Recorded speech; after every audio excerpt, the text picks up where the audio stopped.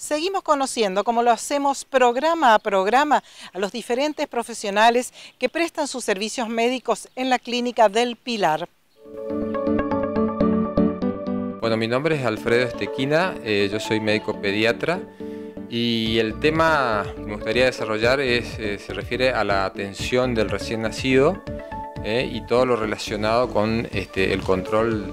de la embarazada y este, lo que redunda, ¿no es cierto?, en, una buena atención del recién nacido. ¿Cómo es eso? ¿Cómo son esos cuidados, esos primeros cuidados? Bueno, específicamente todo lo que se habla de la medicina perinatal, ¿eh? que está relacionado con, eh, primeramente, el control adecuado que realiza el obstetra sobre la embarazada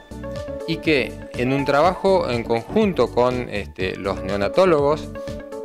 permiten, ¿no es cierto?, que el, recién nacido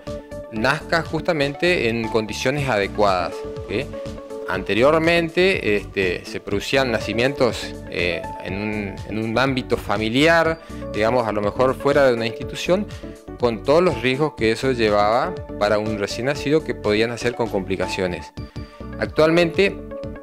todo lo que es este, el, control eh, prenatal, el control de la embarazada, toda la parte de consejería que brinda el, obstetra, digamos, en cuanto a los, cuidados y a poder detectar eh, posibles riesgos para su embarazo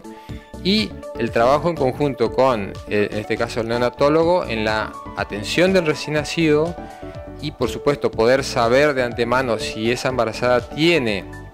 algún riesgo durante su embarazo, como ser por ejemplo diabetes, hipertensión, algún proceso infeccioso, eh, este, el riesgo de tener un recién nacido prematuro. Entonces, todos esos datos que el obstetra le pasa al pediatra eh, forman parte de lo que es la medicina perinatal, en la cual en forma conjunta actúan, digamos, ayudando a, tener una, feliz y un buen final de un embarazo y obtener un recién nacido que nazca en condiciones adecuadas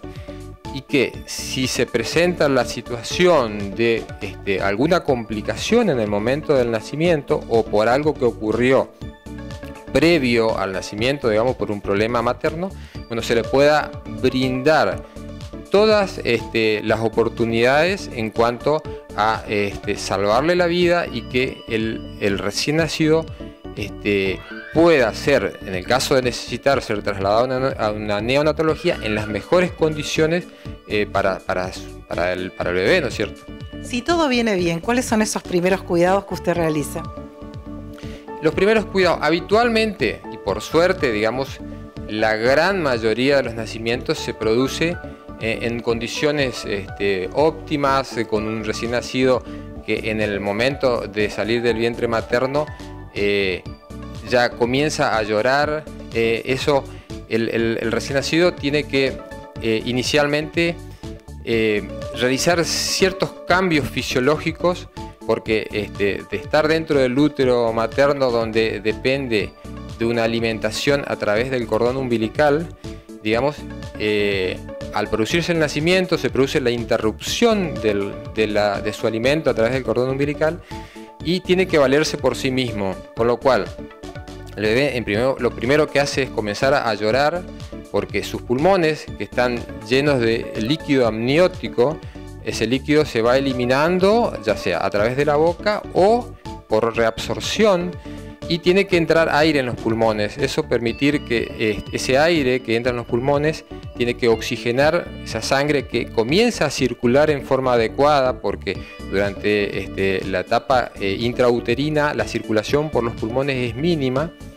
Entonces tiene que oxigenar y o sea que se produce toda una serie de cambios cardiorrespiratorios que le permiten al bebé lograr una adecuada oxigenación y eso permitirle, ¿no es cierto?, este, lógicamente una oxigenación de todos los órganos vitales como ser, por ejemplo, el cerebro.